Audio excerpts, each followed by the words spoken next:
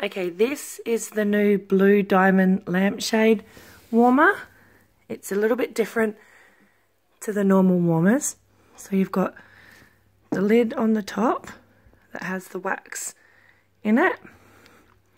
This is the lampshade and inside is a bulb. So you put your lampshade over the top and then the lid on top of that with your wax inside. It is the same as the other warmers with an electrical plug and the on off switch.